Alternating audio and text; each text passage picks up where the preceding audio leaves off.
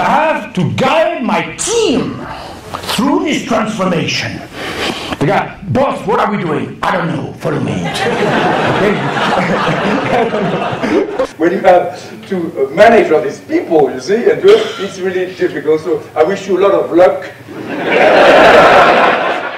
On one hand, I'm a very serious man. I was an engineer and then a strategy consultant. For 30 years, I've studied people and strategic uh, evolution, organizational changes, uh, HR problems, client relationships, and all these things. And on the other hand, I am a showman. I make people laugh. We always forget you're on.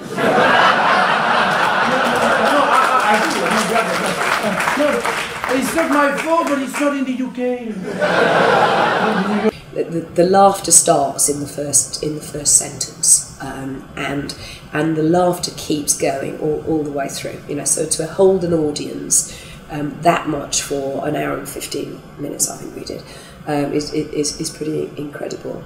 With my team of consultants, we analyze the, the dynamics of the corporations, how people live the evolution. You see evolution of strategy, of organization, of HR, all kinds of evolution.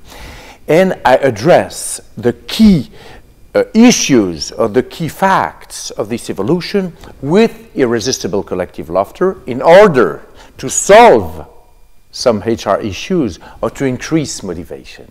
I could have got I could have got a comedian in and I could have given him a bit of info on the company or I could have got a motivational speaker in. To me this was the best of both worlds because it was very insightful very very insightful about the company.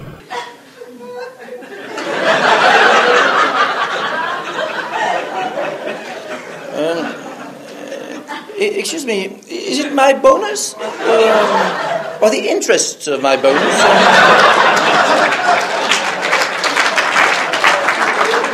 because of the work which has been done up front, there is a very good understanding of the challenges uh, made by the department or the company.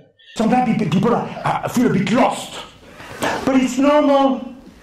It's normal that they're lost. It's the new way of working.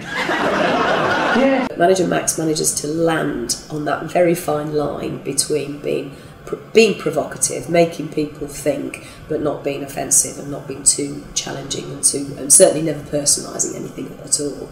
Um, and, and that's to me is where it was really, really clever. The CEO is sneaky, he's tricky. He can come when he has a monkey. Is it a problem? Is this somebody? Oh, the HRD, come on.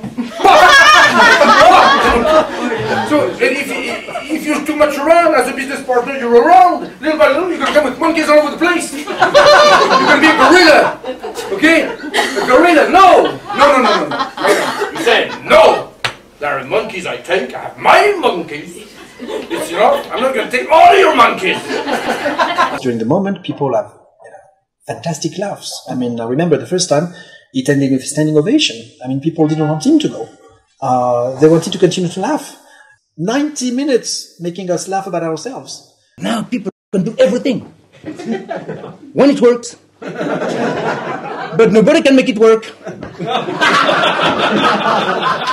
the next day we go in for our quarterly business review with the, with the team and the atmosphere had changed completely. All of a sudden a common language, a really a good way of talking about some really difficult things. So things that we couldn't previously articulate very well for, for risk of being offensive or whatever and suddenly we had this comedy common language that we could use um, and literally from that day the atmosphere from the atmosphere changed. For a long time there was no human resources